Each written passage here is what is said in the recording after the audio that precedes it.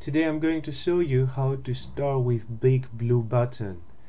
Big Blue Button is a web conferencing tool similar to Adobe Connect and I found the process of creating a room very easy.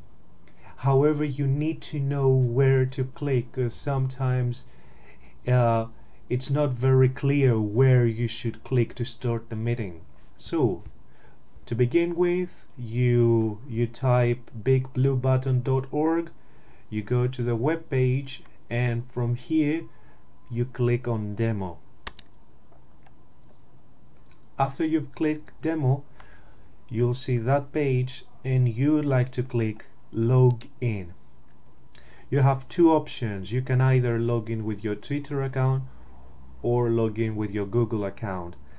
You can't actually log in with an email. You can't sign up with an email, which sometimes I find quite frustrating if you don't want to use your Google account or your Twitter account. Uh, for this one, I'll use Google to log in.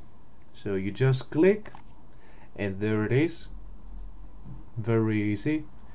So over here you can see I've got an option to name my meeting so I will go on and name this meeting test.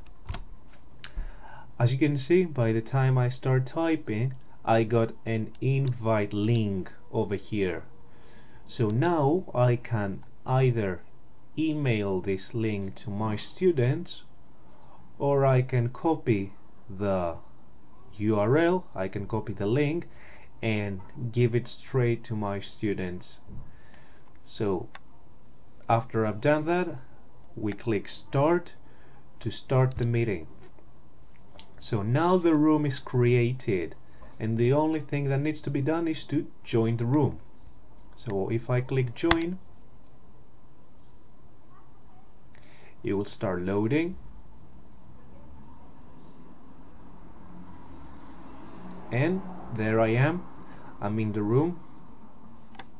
So this was how to create a room and send the, the link to your students. I found the process quite easy, but keep in mind that this demo button, this demo button at the beginning is not very clear that this is the one you should click to start the process of creating your meeting. Hope you find this useful. Bye bye.